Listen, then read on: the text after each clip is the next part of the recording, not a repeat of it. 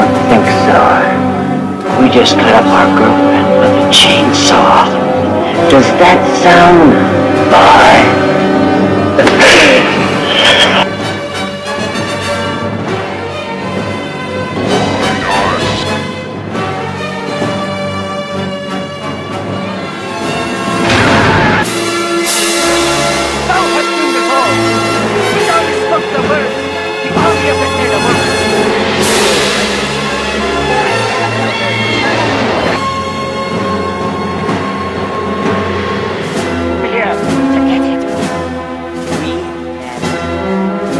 of the damn book.